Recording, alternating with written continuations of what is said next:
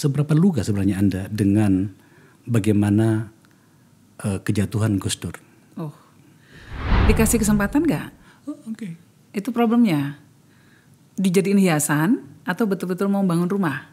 Beda loh. Okay. Karena kalau dijadiin hiasan sampai sekarang kan Gus Dur fotonya juga masih dipajang.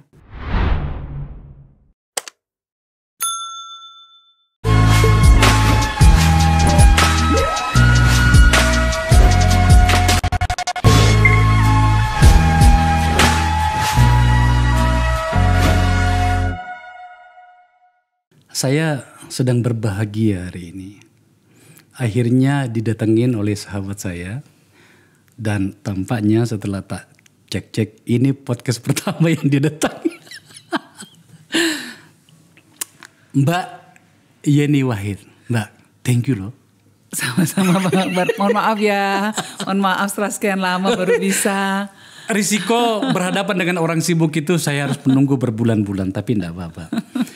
Mbak, ini uh, ini forum saya.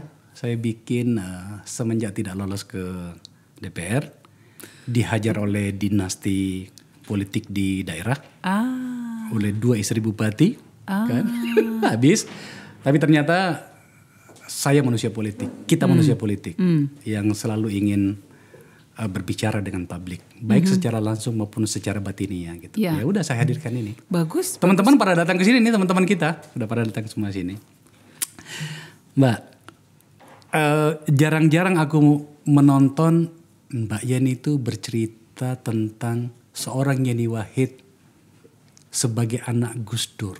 Masa sih? Jarang-jarang aku lihat tayangan langsung ya. Apa itu TV ya? Bukannya malah biasanya tuh sering banget diwawancara selalu nanyanya soal Gus Dur. Enggak, tapi pertanyaanku beda. Oke okay, oke. Okay. Iya iya boleh boleh boleh. Karena gini loh, uh, problem yang kemudian menjadi kajian kami di negara institut itu adalah problem demokrasi di mana kemudian kita betul-betul dibenturkan dan kemudian tampaknya kalah hmm. berhadapan dengan yang disebut dengan a dynasty politik. Hmm yang hmm. merupakan turunan dari oligarki politik itu tadi. Hmm. Uh, kami bisa menjelaskan di Indonesia ini kabupaten mana saja, provinsi mana saja itu yang sudah terjebak pada dinasti politik. Hmm. Kami bisa by name by address menyebutkan anggota DPR RI yang sekarang 575 orang itu siapa saja yang merupakan produk dari dinasti. Hmm. Hmm. Maka kemudian saya ingin mengajak uh, Mbak Yen itu bicara tentang bagaimana sih sebenarnya keluarga politisi tanda petik itu mm-hmm. di dalam memahami ini? Oke. Okay. Uh, Presiden uh, Republik Indonesia itu uh, harus diakui itu tampaknya itu juga tergambarkan pada perjalanan politik negerinya. Coba tampilkan. Ini terah politik dari keturunan presiden di Indonesia. Hmm. Ya ada yang tampaknya memang besar skalanya, tapi ada juga yang uh, kecil dari masanya Pak Soekarno, kemudian uh, keluarga Kemas dan kemudian Mangkunegara, keluarga Hatta, Swasono, keluarga apa uh, Pak Pak Harto, kemudian hmm. Pak Habibie, kemudian uh, Pak uh, Gus Dur, Pak uh, SBY dan kemudian Pak Jokowi. Ada. Hmm. Uh, kita bisa baca ini. Nah, tapi Kalau saya Gus Dur lihat anaknya nggak ada. Nah makanya ada ada tadi. Uh, ini Mana? ini ada keluarga Gus Dur nih. Iya iya iya. Iya kan? Nah ini pon, lebih ponakan adik. Iya. uh -uh. Tetapi ada dua presiden yang tampaknya dalam uh, catatan kami di sini tidak terlalu besar menghabiskan energi untuk ikut tanda petik memperebutkan kekuasaan formal. Dalam hal ini adalah keluarga Pak Habibie, saya pernah undang Mas Ilham di sini hmm. dan jawabannya itu mengagetkan saya. Aku tidak dididik seperti itu, Mas. Oh, Oke, okay. okay, gitu ya. Yeah. Dan Mbak Yeni, Mbak Yeni memang masih berada pada masih di ranah politik, ranah politik, ya. tetapi tidak di ruang formal kan? Tetapi mungkin beda, tetapi tidak disiapkan oleh orang tua.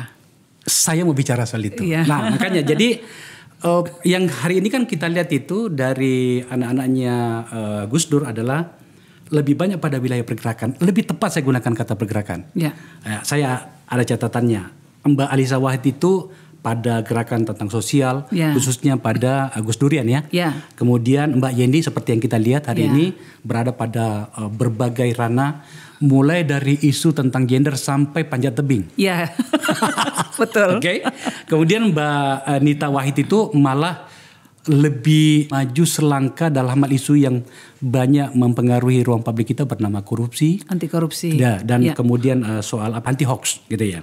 Kemudian Mbak Inaya itu uh, sedikit agak pinggir. Nyeleneh. Mbak Yani lo yang pilih bahasanya. Oh nggak apa-apa. Oke, nggak Kalau dia apa-apa ya. iya.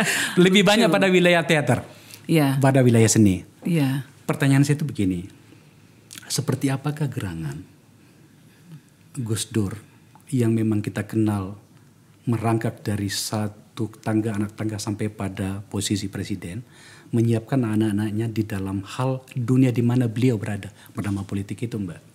Nggak pernah disiapkan bang. Nggak pernah. Nggak, mengalir aja. Mengalir semuanya. Gitu ya. Nggak ada yang bilang kamu harus jadi apa, harus nggak ada sama sekali. Tapi kemudian kenapa pilihannya dan narasinya anak-anaknya itu kok nggak jauh-jauh dari itu ya? Karena nilai ya, Oh, mungkin oke. karena nilai. Jadi kita dibesarkan dalam sebuah keluarga yang mengedepankan uh, nilai-nilai tertentu Oke. dan percaya punya idealisme soal bagaimana negara ini harus dikelola, bagaimana Hmm. masyarakat uh, yang ideal itu seperti apa, dan kemudian untuk mencapai tujuan itu ya memang kita harus berjuang. Jadi kita sangat kental sekali di keluarga, bukan cuma dari Gus Dur ya ini, dari Mbah Hashim, dari Mbah Wahid ya, bahwa kita hidup ini tidak boleh hanya untuk kepentingan diri sendiri. Oke. Jadi untuk menjadi orang orang yang baik adalah orang yang berguna bagi sesama kan kira-kira itu tuh uh, khairun nas anfa'uhum linnas. Itu dari kecil kan sudah menjadi sebuah doktrin yang dimasukkan dalam kepala kita. Kita dari kecil udah diceritain soal oh mbahmu itu dulu gini berjuang melawan Jepang, melawan Belanda. Oh yang Wahid begini kontribusinya untuk masyarakat. Nah dan itu terus itu terus sesuatu cerita yang diceritakan kepada kita terus menerus akhirnya terinternalisasi menjadi nilai dan kemudian sebuah belief system bahwa ya memang masa sih kita hidup hanya untuk diri sendiri Oke. gitu. Nah akhirnya eh, kemudian ya secara natural terjadi ini organik sekali eh, prosesnya. Saya kebetulan eh, banyak menemani bapak waktu bapak jadi presiden, tapi sebetulnya sebelumnya pun sudah. Saya waktu itu sedang bekerja sebagai eh, reporter untuk koran Sydney Morning Herald, Di koran Australia. Australia Oke. di Indonesia. Kita ada biro di Biro biro, Indonesia Jakarta gitu ya, biro di Indonesia itu mengcover seluruh Indonesia gitu. Nah, Bapak waktu itu sudah mulai sakit-sakitan dan kemudian bahkan stroke dan kehilangan penglihatan. Nah, Mama suka khawatir kalau Bapak pergi-pergi. Jadi bilang tolong temenin bapakmu nak gitu. Jadi saya yang sering nemenin bapak. Nah, kemudian terapi lah, ke mana, pergi ke mana, segala macam. Ya saya nemenin aja. Nah, ini kemudian berlanjut secara natural secara aja ya? natural aja. Nggak ada kemudian, wah iya ini yang harus nemenin, Lisa harus nemenin, nggak ada. Nah, karena ke latar belakang saya di bidang jurnalistik tentunya lebih nyambung sama Gus Dur.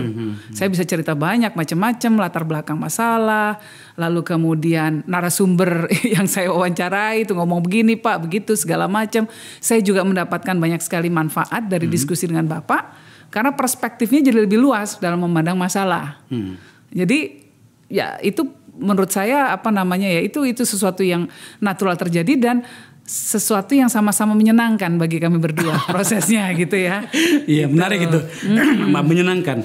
Yang membuat saya jadi tertarik itu adalah, oke menyenangkan prosesnya, Iya. Eh, natural eh, prosesnya, tetapi eh, yang membuat menjadi istimewa bagi saya, setidaknya kami di sini, Ah, adalah isu-isu yang anda bawa bersaudara Mbak, mohon maaf, ya, itu berbeda dengan isu atau postur politik yang ditampilkan oleh anak-anak mantan penguasa. Apa yang saya maksud adalah kalau yang lainnya itu langsung pada masuk pada inti kekuasaan, apa parpol segala macam. Tapi dasar dari seluruh pergerakan itu yang saya lihat itu terutama sekali tentang humanisme. hmm, Isu ini kan selalu menarik, Mbak. Iya.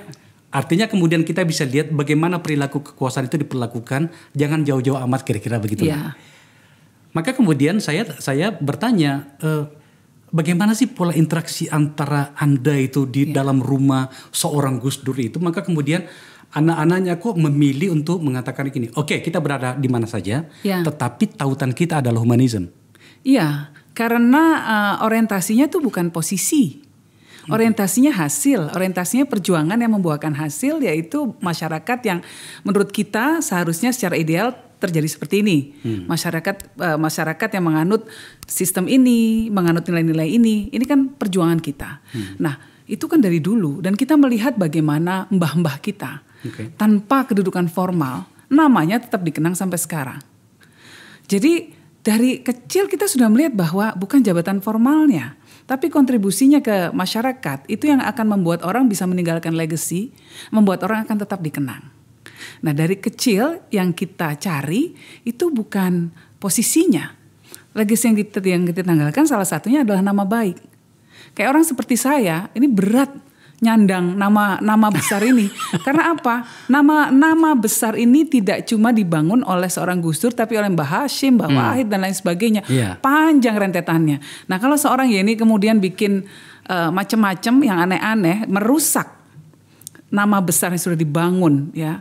Uh, brand uh, awareness ini brand-brand apa namanya loyalty yang sudah tertanam di masyarakat karena jasa-jasa yang telah dilakukan oleh tokoh-tokoh uh, tersebut, yeah. saya ngerusak, ah itu kan dosa banget.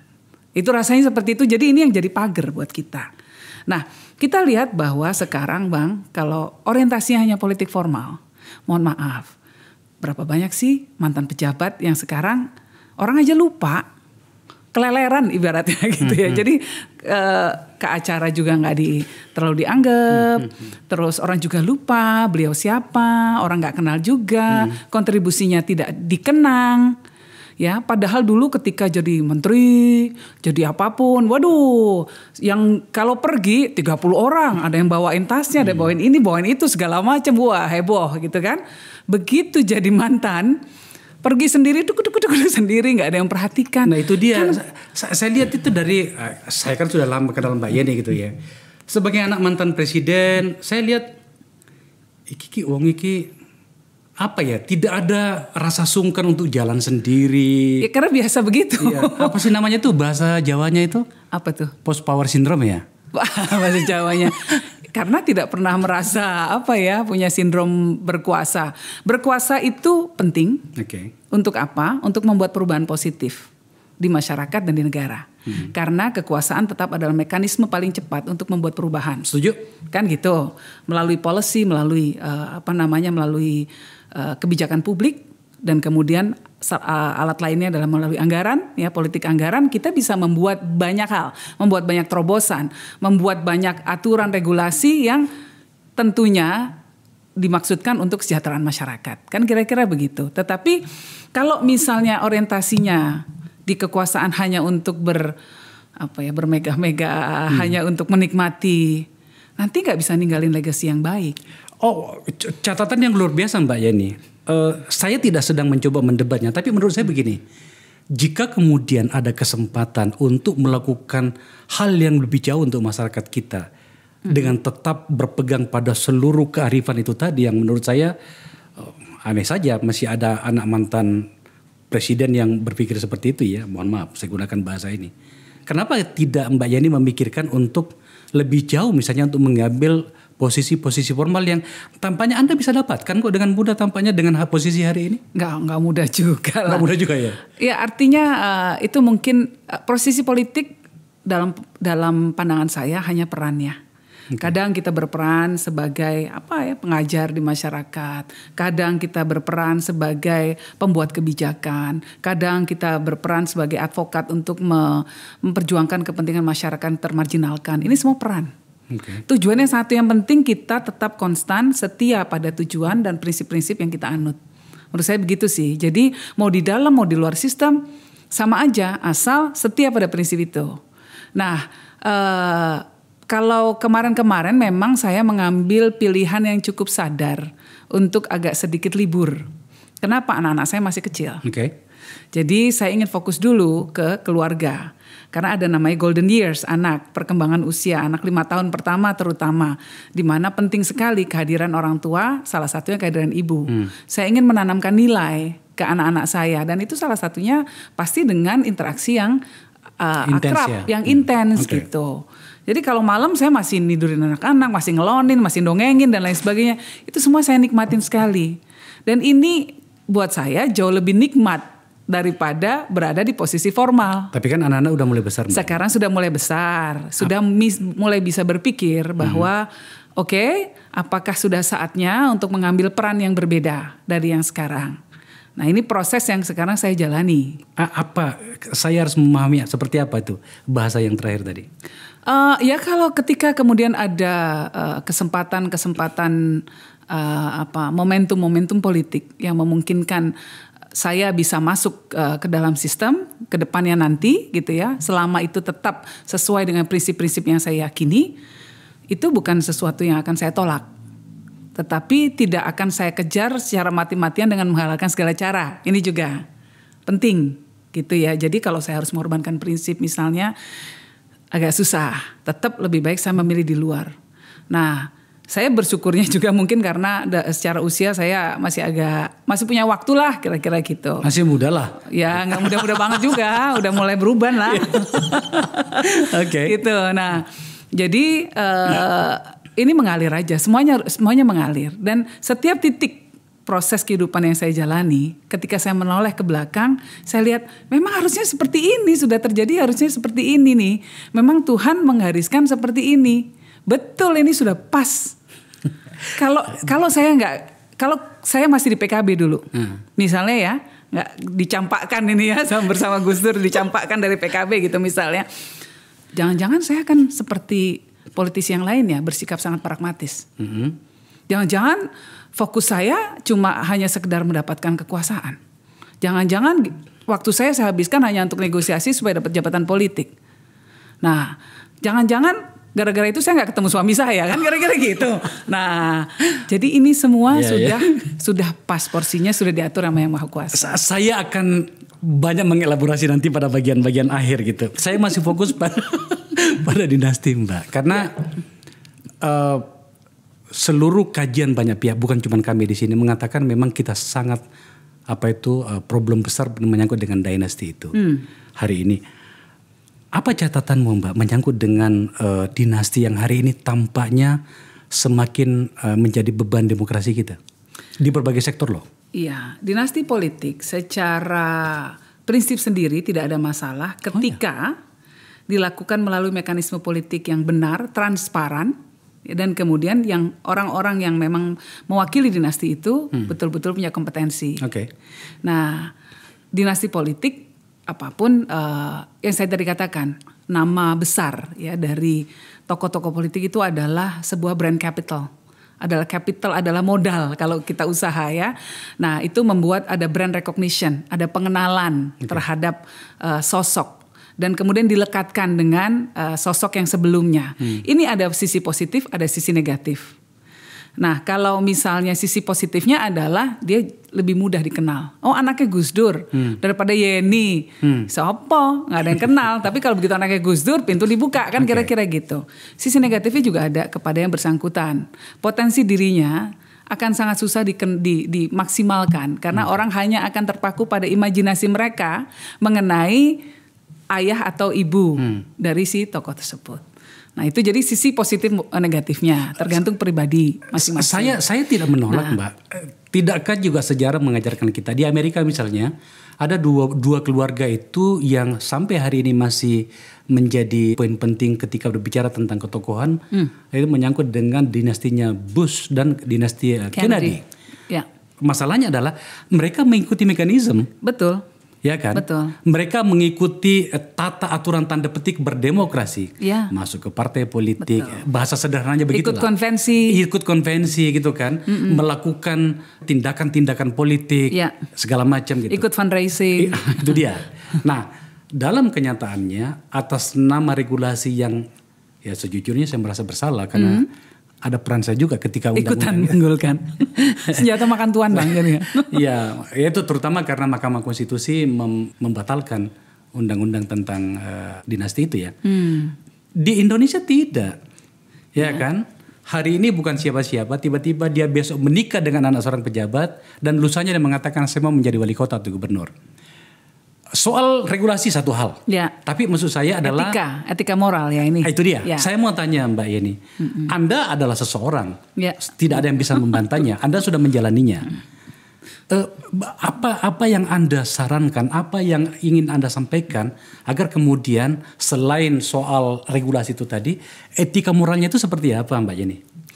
kita harus sadar ya sebagai anak yang tadi saya katakan sebagai anak tokoh yang kita sandang itu nama baik dari ayah ibu kita. Kalau kemudian ternyata kita tidak punya kemampuan dan kita memaksakan diri, yang rusak malah nama baik ayah ibu kita. Oh. Nah, jadi menurut saya ini semua kembali berpulang kepada orangnya sendiri. Kita lihat banyak sekali dinasti politik terutama di daerah di mana ayah dan anak sama-sama masuk ke hotel Prodeo. Iya. Atau Karena suami dan istri. Atau suami dan istri. Oke. Dan masyarakat sekarang juga lebih pintar. Ya, mungkin eh, orang bisa terpilih satu periode eh, atas nama dinasti politik. Tapi biasanya kalau mau lanjut ke periode berikutnya, orang akan melihat kamu melakukan apa selama periode kemarin. Kalau hasilnya tidak baik, maka belum tentu dipilih. Oke. Atau kecuali dia mengeluarkan uang begitu banyak untuk melakukan money politik. Money politics memang tetap realita di negara kita. Dan itu realita di banyak negara. Di Amerika pun juga begitu. Yang paling banyak bisa mengumpulkan uang, dia bisa membeli iklan, dia bisa membeli eh, dukungan dari banyak pihak, lobby group dan lain sebagainya. Ya, kelompok-kelompok eh, interest-interest tertentu gitu, kelompok-kelompok kepentingan tertentu juga bisa di eh, membantu tujuan politiknya kan gitu kira-kira. Sama juga di Indonesia, cuma Indonesia mungkin lebih kasar karena transaksinya terjadi kadang-kadang langsung dengan eh, apa namanya langsung dari pemberi dan penerima gitu. Money politiknya terbuka sekali gitu ya kadang-kadang. Apa namanya itu? Ono rego, ono rupo. Anarko rupo, betul. nah, tetapi nggak akan bertahan juga menurut saya. Sampai Masyarakatnya lebih dewasa, Sampai kapan? tergantung masyarakatnya. Pemimpin itu cerminan dari masyarakat juga. Menurut saya, ketika masyarakatnya masih mau eh, transaksional, dia akan mendapatkan pemimpin yang transaksional juga. Ini ini seperti lingkaran setan nih. Hmm, circle-nya begitu ya? Iya.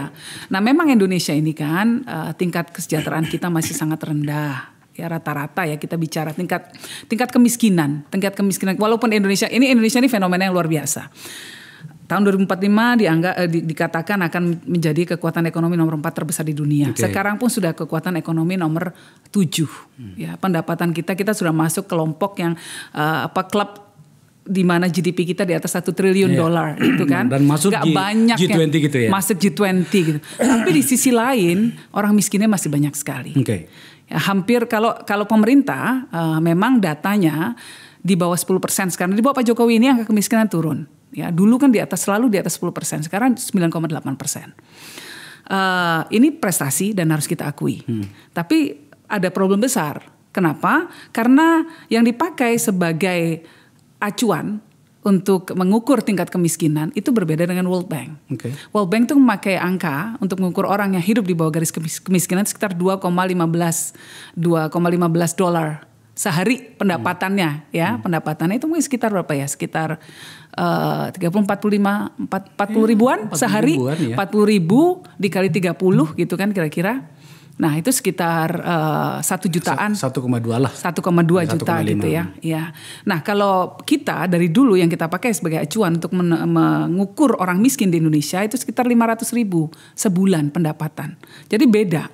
Nah, makanya di Indonesia itu kategorinya ada orang miskin, ada orang near poor, hampir miskin, ada orang prone to poor, rentan miskin. Begitu ada gempa bumi, begitu sakit, begitu macam-macam, langsung langsung miskin. Ada, ada Nah. yang sampai mengatakan gini, atau posisinya pas berada pada rata-rata kemiskinan itu. Rata- betul, betul. Oke. Nah, ini kan uh, persoalan kesejahteraan masih sangat besar. Orang-orang seperti ini harus memikirkan survival. Kalau ada orang ngasih 200 ribu, diterima nggak? Kalau saya jadi mereka, untuk mendapatkan uang 20 ribu aja susah sehari, ada orang kasih 200 ribu, saya terima nggak? Saya terima. Iya, iya. Yang penting saya bisa ngasih makan anak-anak Iya. saya. Realistis lah. Realistis. Oke. Nah, Indonesia masih seperti itu. Dan Indonesia itu budayanya juga patronase. Ini juga yang sangat sulit membuat yang namanya eh, apa ya eh, budaya korupsi itu susah diberantas. Kenapa? Orang makin di atas itu diharapkan untuk memberi, menjadi patron bagi masyarakat di bawahnya. Kalau 17-an nanti ada proposal untuk acara Maulid Nabi, pembangunan masjid segala macam kan gitu. Pasti Abang, Akbar juga begitu dulu, Hmm, ya kan? Orang nggak pernah berpikir bagaimana cara dapetin uang untuk membiayai ini semuanya. Oke. Pokoknya begitu kamu jadi tokoh, kamu punya kewajiban untuk membantu saya. Nah masyarakat kita masih seperti itu. Jadi eh, mereka nggak berpikir bahwa eh, nggak penting uangnya dari mana. Yang penting ketika saya datang kepada kamu untuk minta bantuan, kamu bantu dong. Ada barangnya itu. Ada barangnya. Nah jadi yang kemudian bisa bertahan dalam sistem semacam ini adalah orang yang punya uang. Hmm. Adalah orang yang punya uang pasti, pengusaha dan lain sebagainya. Maka kembali ke teori awal bernama penguasaan oligarki lagi tuh. penguasaan oligarki. Nah, tetapi middle class kita mulai naik. Anak-anak yang terdidik mulai naik. Dan anak-anak terutama Gen, Gen Z dan anak-anak milenial itu lebih altruistik ya. Mereka pendekatannya mereka ingin mengubah dunia kan Oke, gitu. iya. dan mereka ingin me- me- membuat impact. Mereka tidak terlalu materialistis. Orientasinya bukan materi. Orientasinya adalah ingin mengabdi. Nah anak-anak inilah yang kemudian menjadi whistleblower. Anak-anak inilah yang kemudian mencoba untuk me- melakukan koreksi masyarakat kita. Mereka inilah harapan kita. Nah, dan kita beruntung karena hampir sebagian besar generasi kita, eh, penduduk kita, 40 persennya kan anak-anak umur itu, umur yang produktif tersebut. Jadi yang namanya eh, population boom itu jangan cuma dilihat dari sisi ekonominya saja, tetapi juga nilai menurut saya. Nah, tapi kewajiban kita sebagai negara ini ya, eh, negara Republik Indonesia harus mampu memastikan bahwa population boom ini, orang-orang yang usianya produktif di bawah 40 tahun, ini betul-betul bisa mendapatkan pekerjaan, lalu kemudian bisa sekolah dengan baik, dan kemudian bisa berkarya di masyarakat. Karena kalau enggak, nah ini rentan di radikalisasi, radikalisasi agama dan diradikalisasi politik. Mbak Yeni catatan bagus. Saya menikmatinya. Hmm. Tapi lagi-lagi saya tetap harus sedikit masuk pada ruang yang banyak dipertanyakan orang. Mbak Yeni mau ke mana nantinya? Coba tampilkan dulu kita punya catatan. Iki loh Mbak. Tadi kan kita bicara tentang ya tampaknya Mbak Yeni eh, diterkondisikan. Mungkin kata tepatnya begitu ya. Terkondisikan oleh situasi harus tola-toli lagi nih. Ruang pengabdian mana lagi yang harus dilakukan? Kira-kira gitu kan. Ini ada nih. Sebuah lembaga eh, survei membuat ini. Tampaknya ini gara-gara aneh nih anak-anak di PSI kayak gini ya. Jadi ada eh, simulasi Mbak Jenny. Pada saat Anda disandingkan atau dipasangkan dengan Mas Ganjar, itu kok angkanya 40,6. Ini tidak lama loh dari hari ini. Ini hanya sekitar satu bulan lebih yang lalu loh. Jadi masih masih update ini eh, data Iya, ini iya, kan gitu ya.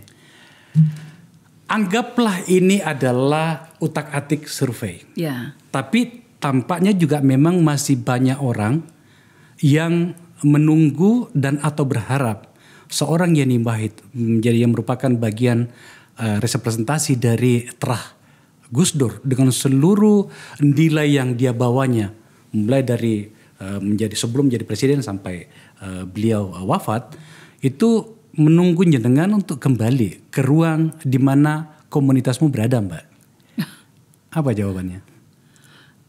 Eh, kalau momentumnya tercipta, saya tidak menutup kemungkinan untuk kembali. Oke. Nah, momentum politik itu kan kita tidak bisa menciptakan. Oke. Ya, jadi ya buat saya saya mengalir saja di mana pun saya berada saya akan tetap mengabdi untuk kepentingan masyarakat dengan cara saya. Lewat yayasan saya, saya banyak mengabdi untuk masyarakat. Kita punya program namanya program Desa Damai, ini bekerja sama dengan PBB. Oh, oke. Ya, di mana kita mencoba untuk menciptakan ketahanan di tingkat desa melalui tiga Ketahanan ketahanan, bukan cuma ketahanan pangan, ketahanan desa, resiliensi. Oh, oke. Jadi melawan pandemi lah, melawan apa segala macam ya. Eh, ada tiga pilar yang dipakai. Sekarang tambah jadi empat, tiga dulu yang utama. Yang pertama adalah pelatihan ekonomi dan akses untuk eh, permodalan ya melalui kooperasi dan kita memberikan pelatihan ekonomi, memberikan pelatihan kewirausahaan dan lain sebagainya. Yang kedua pelatihan tentang kebinekaan. Nah ini juga penting. Ya, Karena anu, apa, kita apa mau semangat semangat apa dasarnya kan toleransi dan betul, humanisme ya. Betul. Yang ketiga, penguatan peran perempuan, women empowerment. Jadi economic empowerment, lalu peace building mechanism, mekanisme pembuat apa namanya menciptakan perdamaian dan toleransi di tingkat akar rumput. Yang ketiga adalah penguatan peran perempuan. Yang sekarang keempat pilar keempat adalah climate change. Climate change. Climate change gitu, isu perubahan iklim. Oh. Nah, ini gini gara-gara ini 30 barangkali Mbak Yeni itu sampai bicara di Madrid ya. Saya bicara di Madrid, saya bicara di PBB. Iya, karena aku kan Saya hadir bicara- waktu itu. Iya, iya kemarin di Mesir juga Oh, gitu oke. ya. Jadi Ah. bagaimana menguatkan peran komunitas dalam melakukan perubahan-perubahan agar mereka bisa bertahan dengan segala macam Hmm. disrupsi yang terjadi, Bang. Begitu ada pandemi, mereka juga nggak tumbang. Begitu ada persoalan politik ya, disrupsi terjadi karena teknologi, kemudian pekerjaannya hilang karena ada otomatisasi. Ya tadinya pekerja pabrik, pabriknya diganti jadi mesin semua. Mereka mau makan apa ini orang-orang itu? Kan ini harus dibantu disiapkan. Lalu kemudian perempuan lebih berdaya karena memang datanya ketika perempuan diberdayakan maka kontribusinya terhadap, terhadap GDP itu luar biasa besarnya. Hmm, Oke. Bisa sampai Setuju. berapa triliun loh. Kalau perempuan Indonesia saja dalam setahun bisa 35 triliun itu kontribusinya. Kalau perempuan diberdayakan secara ekonomi. 35 triliun. Iya.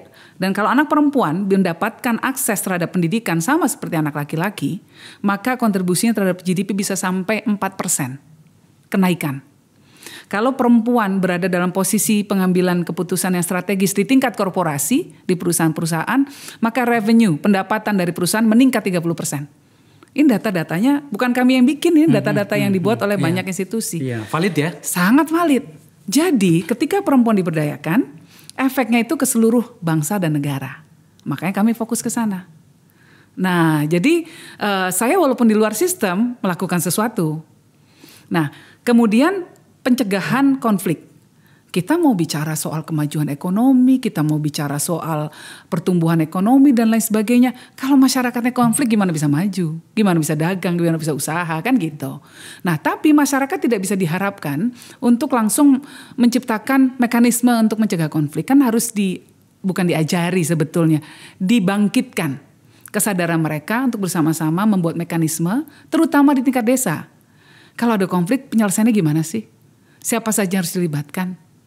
Lalu kemudian eh, langkah-langkahnya harus seperti apa? Ini sudah berapa lama sih Mbak Yeni ini seluruh gerakan ini? Sekitar empat tahunan. Empat tahunan Empat, melalui eh, sebentar, empat, lima tahun. Jadi kami bikin sendiri awalnya melalui Wahid Foundation. Oh, oke. Ah, kami bikin sendiri, tiba-tiba PBB datang ke saya UN Woman, lalu bilang, ya ini kami tertarik sekali untuk ikut bergabung di sini. Gitu. Oh oke gitu. Lalu kemudian ya eh, apa namanya mereka membantu untuk pelatihan dan lain sebagainya. Akhirnya bisa scale up, kita bisa sampai eh, hampir 30 desa sekarang Di seluruh Indonesia. di seluruh eh, di Jawa dan di Kalimantan satu.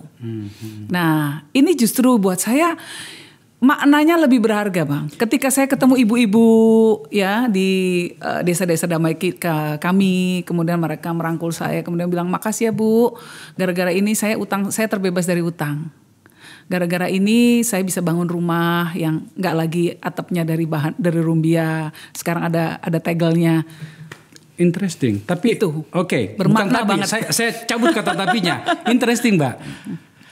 Hanya saja tampaknya pada data yang tadi Iya. itu meminta Anda itu maju lebih jauh di dalam memori seperti apa yang mereka bayangkan bernama politik praktis dan atau kekuasaan praktis itu tadi. Ya. Kalau kemudian ternyata itu disodorkan pada Mbak Yeni, Mm-mm. eh, seperti apa Anda harus bereaksi dalam eh, dengan seluruh agenda Anda yang tadi saya nggak bisa bantah sama sekali itu luar biasa tadi. Eh, kalau kesempatannya ada, nilai-nilainya selaras dengan yang mencalonkan, eh, tujuannya sama untuk mencapai Indonesia seperti ya dalam yang dalam imajinasi saya, Indonesia yang sejahtera, Indonesia yang rakyatnya toleran, ya dan menghargai kebinekaan. Indonesia yang eh, punya semangat untuk maju, Indonesia yang memperhatikan anak-anak mudanya, Oke. why not? Mungkin saya akan bilang iya, gitu. Eh, tapi ya pasti izin ibunda saya, izin mama dulu, sama juga izin suami karena dia pasti akan langsung terdampak. Ya, em, saya sebenarnya dari tadi mikir-mikir tak tanyain nggak soal ini tapi nggak apa-apa Apa ya. Nggak apa-apa. Mumpung lagi lagi di sini Iya. ya. Sebenarnya kan keluarga Mbak Yen itu kan punya rumah sendiri sebenarnya kan. Eh, eh. Rumah politik maksudnya? Iya, Iya. bernama PKB itu. Iya, iya. Makanya tadi aku pikir-pikir tadi nanya, apa sih yang terjadi Mbak? Ya, ya kita ya disingkirkan dari PKB. saya saya Gak apa-apa lah. Maksudnya ya ini untuk ke edukasi politik saja. Oke. Pada saat ini kita tidak berada di PKB. Banyak orang yang nggak tahu loh, terutama anak muda. Oh ya. Iya. Mas, mereka masih berpikir Mbak Yeni di situ. Iya, Keluarga Bu saya Dur. nyoblos PKB loh. Oh ya nggak apa-apa, bagus. Karena saya sekarang lagi nggak. saya jawab gitu. Kaget mereka biasanya. Ah, nah, tetapi ya biar itu kan proses politik yang terjadi.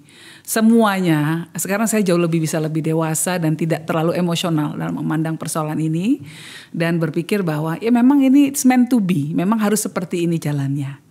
Ya, sehingga kemudian memberikan perasaan eh, yang dalam ya, bukan cuma simpati, empati gitu ya, yang tertanam dalam diri saya bahwa orang-orang yang kita menjadi orang terpinggirkan nih secara politik. Saya bisa ter, berempati kepada orang-orang yang juga terpinggirkan secara politik. Itu tidak itu bukan sesuatu yang akan bisa saya dapatkan dari membaca buku. Harus dari pengalaman. Gitu. Saya itu dan saya rasa juga semuanya masih akan sulit melupakan sebuah insiden di KPU. Iya, Ingat gak? rebutan. Dengan eh, apa namanya Caimin waktu Iya. itu. Eh, maksud saya begini Mbak, rumah itu tampaknya hari ini semakin membesar. Iya. Oke, Eh, kalau membesar tidak, karena belum pernah bisa mencapai titik kejayaan ya waktu zaman Gus Dur dulu Hmm, secara hmm. data. Oke, nah maksud Waktu saya kita adalah waktu kita keluar dari PKB itu penurunan suara PKB 70 persen. Oke. Ya datanya memang. Ya, itu satu hal. Tapi maksud saya begini, eh ini kan politik. Ya, Orang-orang politik itu kan bisa selalu mencari jalan keluar sesulit apa pun situasinya. ya, Saya bisa membayangkan kalau rumah yang dibangun oleh Gus Dur itu, kemudian ya adalah apa lubang-lubang di sana sini, terus kemudian seluruh anggota keluarganya itu bersatu untuk nempelin lubang itu, wah semakin megah rumahnya. dikasih kesempatan nggak? Oh, Oke. Itu problemnya. Dijadiin hiasan atau betul-betul mau bangun rumah. Beda loh. Karena kalau dijadiin hiasan sampai sekarang kan Gus Dur fotonya juga masih dipajang. Hmm. Nah, kalau cuma itu kami nggak tertarik. Kan kita berpolitik itu tujuannya apa sih? Bukan untuk pragmatis, bukan untuk transaksional, tapi melakukan perubahan yang jelas. Nah, politik, partai politik alat dan partai politik alat yang luar biasa di Indonesia. Semua barrier of entry-nya dalam politik gitu ya. Ibaratnya itu adalah melalui partai politik. Kita se- ke gelanggang, calo tiketnya kan ada. Ini Kira-kira kan begitu nih. Oke. Kalau mau bahasa kasar, tetapi kalau mau pakai bahasa halus bahwa mereka adalah kendaraan politik yang harus di eh, apa harus mengantarkan menuju proses politik itu. Jadi kekuasaannya partai politik luar biasa sekali. Ah. Dan menurut saya itu proses itu itu itu salah satu PR kita memastikan bahwa partai-partai politik kita memang betul-betul punya eh, hubungan koneksi dengan masyarakat yang diwakilinya. Ya, jadi aspirasi masyarakat betul-betul terwakili oleh partai politik. Sehingga kemudian didapatkan adalah demokrasi yang berkualitas, bukan demokrasi yang, yang transaksional. Ini PR besar kita. Mbak, secara nilai, Mm-mm. apa sih yang menurut penilaiannya eh, Mbak Yeni itu diabaikan atau ditinggalkan atau mungkin dilupakan oleh teman-teman di PKB sekarang yang membuat Anda merasa bahwa memang tampaknya eh, keluarga Gus Dur itu langsung keluarga inti itu tidak bisa berada di situ lagi. Kalau di pesantren itu salah satu buku yang dibaca itu adalah ta'alim ta'alim. Jadi adab dalam mencari ilmu saja adab kita kepada guru itu harus sangat apa ya sangat eh, tunduk, harus sangat hormat ya. Eh, apalagi kepada orang tua, kepada orang yang besarkan kita, orang yang punya jasa kepada kita. Nah nggak boleh lupa kacang pada kulit kira-kira gitu. Nah eh, ini hal-hal yang sampai sekarang belum bisa direkonsiliasi- direkonsiliasikan. Jadi buat kami jauh lebih penting memegang nilai. Karena posisi itu bisa datang dan pergi. Nilai, sekali nilai itu bergeser, identitas kita jadi hilang, jadi rusak, jadi luntur. Pegangannya apa lagi? Nah, kalau buat saya yang paling penting saya megang nilai itu dulu. Nah, bahwa uh, saya nggak mau ini ya, bapak uh, komentar lebih jauh lah kalau soal pilihan-pilihan politik yang diambil oleh Caimin. Beliau adalah tokoh politik yang punya kesadaran politiknya, yang mengerti uh, tata nilai yang dianut oleh masyarakat Indonesia ketika mengambil pilihan-pilihan politik itu mungkin sudah disadari, sudah memikirkan konsekuensi ya silahkan saja menurut saya. Itu semua prosesnya sendiri-sendiri kok. Dan semua itu ada konsekuensi. Semua hal, tindakan kita ada konsekuensinya. Hmm. Tidak pernah tidak. Ya kan? Berapa banyak orang-orang tokoh politik punya uang? Banyak sekali. Punya uh, kekuasaan, punya posisi strategis, bisa menggerakkan macam-macam. Tetapi the people are not just not buying, hmm. buying yeah. their apa? Mereka orang nggak membeli apa yang mereka coba jual. Hmm walaupun mereka punya segalanya. Kenapa? Karena resiko reputasionalnya itu loh, ada reputational risk, ada masalah reputasi. Nah jadi bagi saya reputasi jauh lebih penting. Nggak bisa di, abang punya uang 3 triliun, mencoba bangun reputasi bisa nggak? Kalau sudah tercemar susah. Ada dua hal kalau yang sudah hilang, ini susah untuk kembali. Pertama kesehatan kita, kedua kepercayaan. Kalau orang udah nggak percaya, susah loh mengembalikan itu? Mbak Yeni, selain seorang yang lahir dari satu wajan percampuran nilai-nilai yang uh, elegan, ya. saya mungkin memuji dan saya menurut saya saya harus memuji keluarga Gus Dur. Makasih. Di mata saya, Anda itu atau keluarga Gus Dur, terkhusus Mbak Yeni yang sedang duduk di depan saya, itu tangguh sekali Ah, ini beda-beda tipis. Ada juga yang bilang kami bodoh. oh, kok bisa begitu? Ya, karena kalau mau lebih pragmatis, lebih kompromis, ah masuk aja salah satu partai politik. Nanti kemudian bisa jadi jabatan dapat jabatan apa kayak gitu. Iya, nah, ada yang bilang bodoh. saya lanjutkan. Tidak tidak sekali dua kali atau tidak satu atau dua orang yang keluarga terutama keluarga presiden itu butuh waktu yang sangat lama untuk keluar dari kungkungan luka mm. pada sebuah peristiwa politik. Mm. Mm. Kejatuhan Gus Dur mm. itu bukan hanya bagi keluarga Gus Dur, mm -mm. Pada banyak kalangan itu cukup melukai. Yeah. Tapi kok Anda eh, lebih cepat untuk bangkit, setidaknya dari apa yang saya lihat. Yeah. Bahkan barangkali Anda terlihat tidak pernah luka, mungkin saya keliru menilainya. Mm. Pertanyaan saya itu gini Mbak, seberapa luka sebenarnya Anda dengan bagaimana uh, kejatuhan Gus Dur? Oh, uh, saya perlu waktu pergi dari Indonesia untuk bisa bisa lebih memahami luka itu. Luka itu tidak akan pernah bisa dilupakan, oh. tapi bisa dipahami. Ketika sudah bisa dipahami secara rasional, mungkin uh, secara emosional bisa lebih tidak terlalu eksplosif gitu ya. Saya butuh sekolah di Amerika satu tahun belajar dari pengalaman banyak negara, banyak tokoh, banyak kejadian-kejadian politik untuk memahami bahwa oke okay, ini bukan sesuatu yang pribadi sifatnya.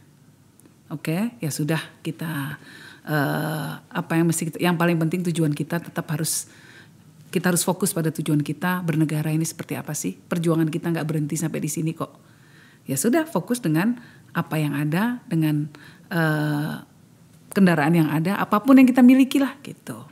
Ya kayak orang di film-film lah bang, film-film Hollywood gitu ya, lagi terluka gitu kan, dia kan nggak kemudian duduk di pojokan aja gitu kan, ya udah tetap harus jalan lagi yeah, lah yeah, iya. gitu. Yeah. Kata kata orang Amerika itu hidup ini harus berjalan terus. Kan, harus gitu. berjalan terus gitu. Tapi pada bagian mana? Mohon maaf, saya ingin uh, apa itu mewakili pikiran publik, ingin menyelami pikiran seorang Yeni Wahid uh, seberapa luka Anda pada saat itu hingga harus pergi dari Indonesia dan kemudian mempelajari berbagai tanda-tanda zaman tentang bagaimana kejatuhan seorang pemimpin itu? Buat keluarga jauh lebih luka dibandingkan Bapak. Okay. Karena Bapak tokoh politik sudah tahu resiko-resiko yang akan diambil. Keluarga ini kan uh, kami saya juga baru awal-awal dulu di politik gitu ya hmm. segala sesuatu masih dimaknainya kadang-kadang juga emosional gitu okay. itu luka sekali lukanya dalam sekali nah eh, pada semua pihak-pihak yang terlibat. Walaupun setelah itu secara setelah membaca lebih jauh, setelah me, apa ya bisa memahami secara rasional, bisa menilai eh, proses-proses yang ada, ya eh, pilihan ini pilihan-pilihan semua yang dilakukan oleh para aktor politik yang kemudian mengakibatkan peristiwa itu Gus Dur dilengserkan. Oke. Nah, menjadi orang yang agamis dan spiritual itu membantu. Oke. Karena apa? Eh, ada banyak apa ya hikmah-hikmah yang bisa kita ambil di sana. Lalu kemudian kita akan selalu kembali kepada eh, pikiran bahwa yang terjadi adalah selalu yang terbaik. Allah mengerti apa yang paling terbaik untuk makhluknya. Lalu kemudian juga bahwa memang Gus Dur tugasnya ya cuma ini kan falsafah Jawa. Eh, Gus Dur sendiri juga tahu bahwa eh, beliau nggak akan lama. Tugasnya hanya untuk membuat pondasi, membuat perubahan. Dia yang dilakukan Gus Dur luar biasa dan saya tidak bicara sebagai anaknya tetapi sebagai anak bangsa Indonesia. Pondasi yang diletakkan Gus Dur untuk meletakkan eh, demokrasi yang egaliter, yang memberikan perlindungan kepada semua eh, kelompok yang ada di Indonesia itu luar biasa. Kemudian penguatan fungsi masyarakat sipil itu luar biasa. Mungkin kalau bukan Gus Dur yang melakukan itu, nggak bisa. Zaman dulu ya. Nah, eh, setiap pemimpin pasti dibutuhkan oleh zamannya, saya percaya. Gus Dur mungkin kalau mimpin zaman ini eh, belepotan atau Pak Jokowi dulu mimpin zamannya Gus Dur mungkin juga Ya, ya. belum tentu sanggup gitu ya. Jadi eh, saya percaya bahwa eh, apa yang terjadi sudah memang sudah garisnya seperti itu. Bukan fatalis loh ini ya. Oke.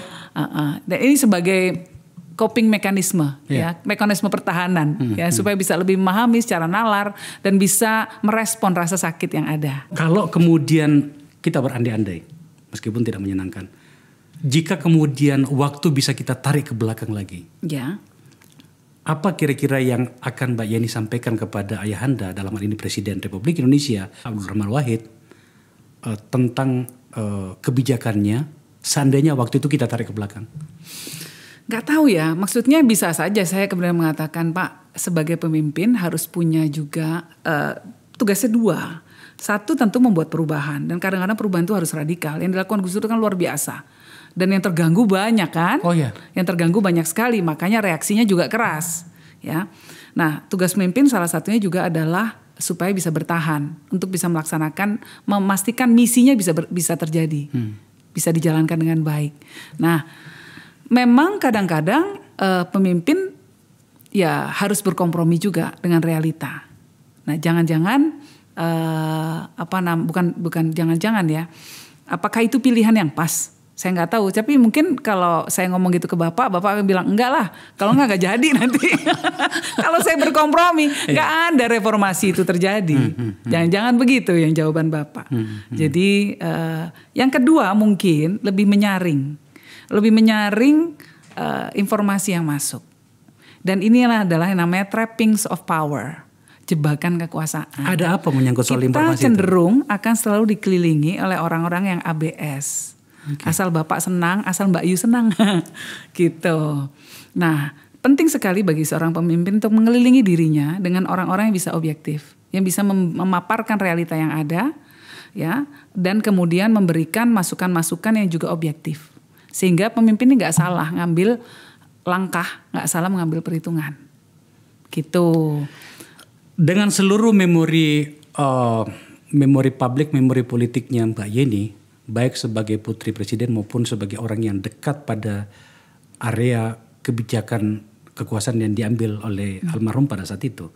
Dan kemudian dalam perjalanannya itu Mbak Yeni tetap dekat dengan siapa pun presidennya. Dengan Gus Dur dekat, dengan Pak Jokowi dekat gitu Pak ya. SBY dekat. Oh, dekat dengan eh, Pak SBY ya eh, dekat. Tahun politik berjalan dan kemudian 2024 uh, sudah mendekat.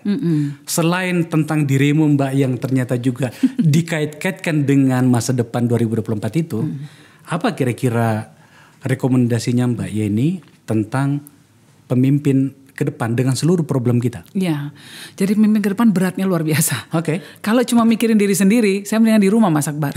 Dicukupi suami toh udah bisa jalan halan-halan keluar Sudah negeri punya udah sawah bisa. hektar gitu. Udah punya sawah, udah punya apa, udah bisa lah gitu. Kalau mau hidup nikmat-nikmat mikirin diri sendiri aja gitu ya. Nah, eh, diundang bicara di luar negeri, Hmm. saluran untuk ekspresi diri ada gitu kan kira-kira ya. Nah, tetapi eh, tentu kita semua ya semua orang di Indonesia kalau bisa sih memberikan kontribusi untuk menjawab tantangan-tantangan yang dihadapi bangsa kita. Tantangannya banyak banget, Mas. Mulai dari stunting yang masih 30%, angka kemiskinan yang masih seperti itu ya. Kalau total eh, ininya apa namanya angka kemiskinan bukan cuma yang kemiskinan ini ya eh, apa? miskinan eh, akut tadi, tetapi semua di total itu kan hampir 40% dari penduduk kita, ya kan. Lalu soal eh, geopolitik juga, bagaimana kita bisa tetap membalance antara Cina dengan Amerika. Lalu kemudian eh, persoalan-persoalan penyelundupan, Oke. ya. Lalu persoalan-persoalan identitas politik anak-anak muda kita. Bagaimana supaya tidak mudah terprovokasi. Kita ini kan sama seperti negara-negara lain yang juga sangat rentan gitu ya eh, untuk terjebak kepada konflik karena peran sosial media. Indonesia yang pakai sosial media ratusan juta kan, sangat mudah sekali bagi kita diombang-ambingkan gitu. Nah, gimana caranya bahwa anak-anak muda kita ini tidak kemudian terjebak kepada eh, apa yang terjadi di Amerika sekarang.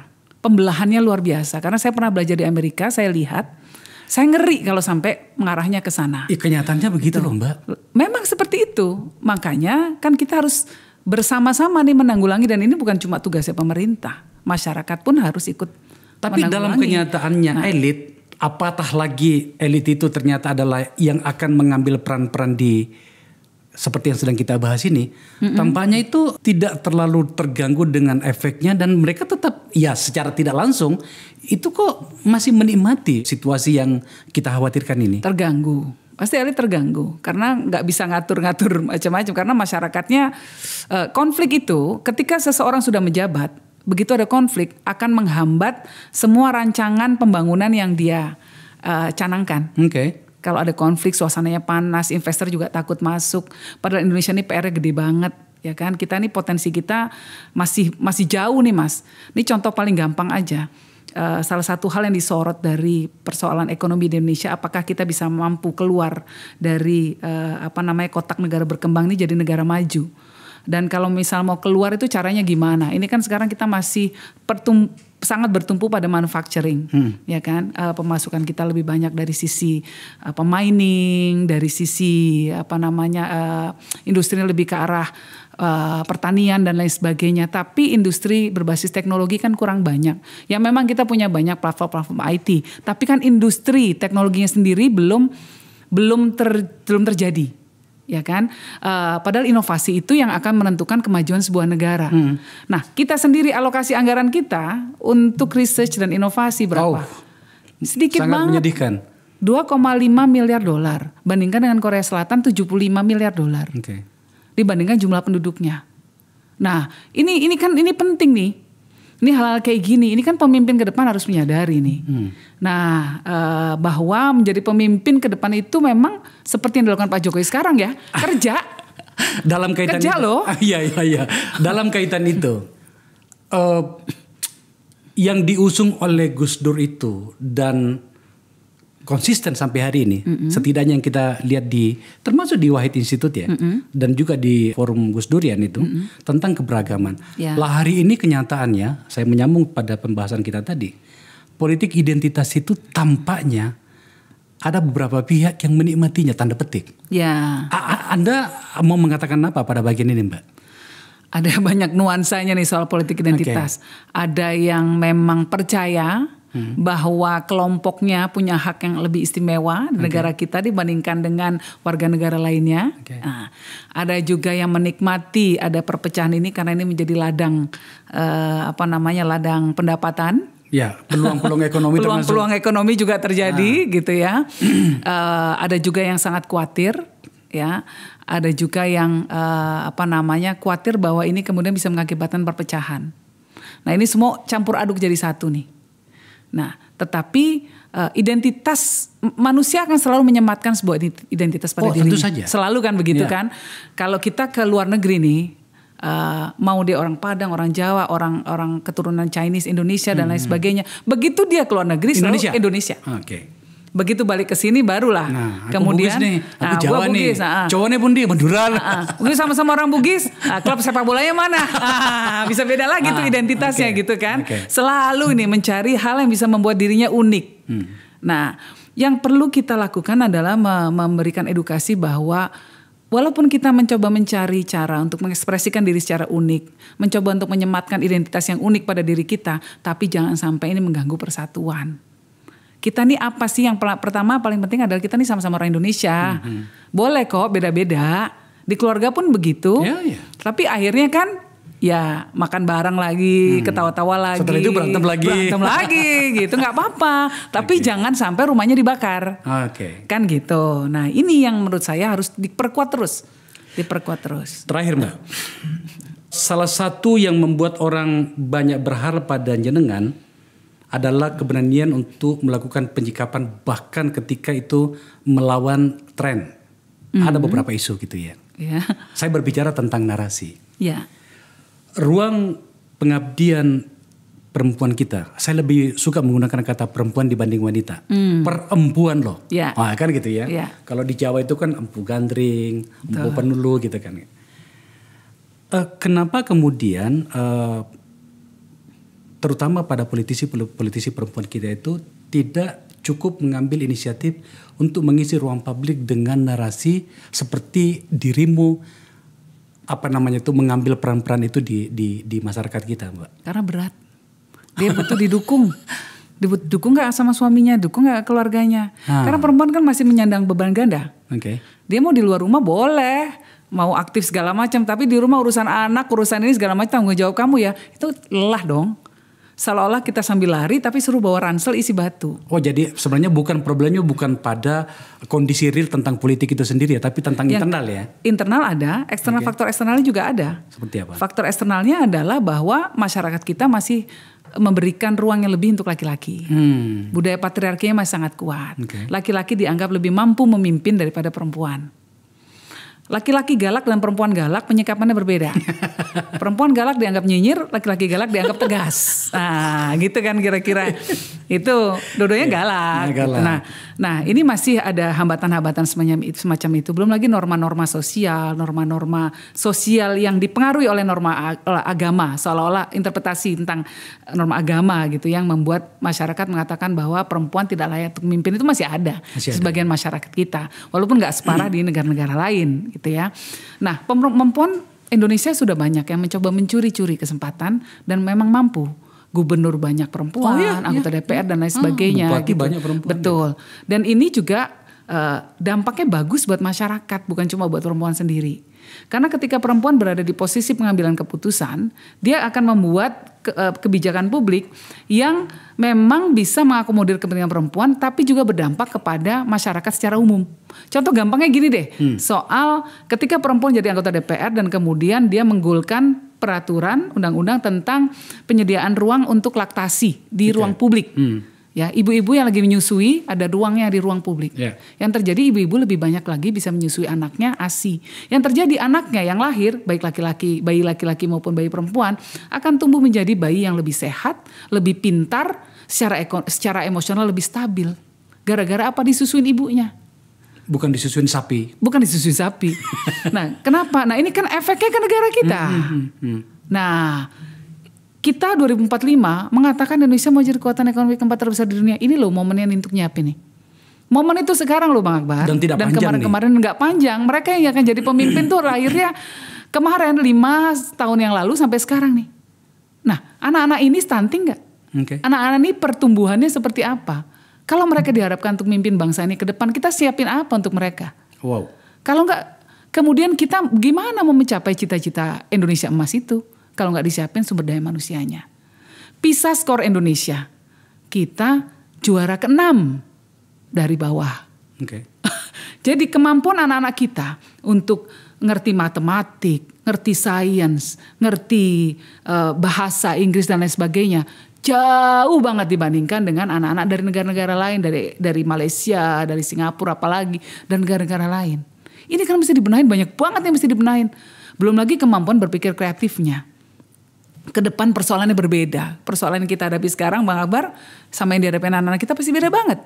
Nah kalau anak-anaknya nggak bisa berpikir kreatif, nggak bisa inovatif, bisa nggak nyelesain masalah? Nggak bisa. Akhirnya orang lain yang nyelesaikan untuk mereka. Artinya 245 mundur ke 285. Ya, kalau itu terjadi, akhirnya kan begitu. Ini yeah. momennya, ini momennya. Nah pemerintah, saya berharap siapa pun pemerintahnya 2024 nanti betul-betul memberikan fokus kepada pengembangan sumber daya manusia di Indonesia. Indonesia ini kan sekarang uh, apa namanya pertumbuhan ekonominya luar biasa, infrastruktur yang dibangun yeah. Pak Jokowi luar biasa, ya. Nah saatnya fokus ke soft powernya ini. Itu akan terjadi lebih mudah tuh kalau Mbak Yeni sendiri yang melakukannya nantinya ya. Kita nggak tahu takdir. Iya. Kalau misalnya saya tidak ditakdirkan untuk menjalani peran itu, maka kita bisa menitipkan aspirasi kepada pemimpin-pemimpin yang memang ditakdirkan untuk menjalani peran itu. Dibikin gampang aja hidup, gitu aja kok repot. Hai, saya tiba-tiba kembali terlontar. gitu aja kok repot. Mbak Yeni, makasih ya. Makasih Bang Akbar ada banyak pikiran yang berpendar di memori saya ketika berbicara dengan uh, Mbak Yeni karena itu menjadi apa paket ya paket politik paket pergerakan paket uh, tentang gender segala macam dan uh, sungguh-sungguh kita dengarkan sendiri tadi Mbak Yeni menjelaskannya dengan uh, sangat detail. Saya berharap Mbak Yeni semakin bersikap lebih jauh lagi ya nanti di masa depan ya. Aku berharap loh. Ah, berharap, oke. Okay. Nanti jadi tim ses ya. Sekali lagi Mbak, makasih ya. Makasih banyak ya. Bang Akbar.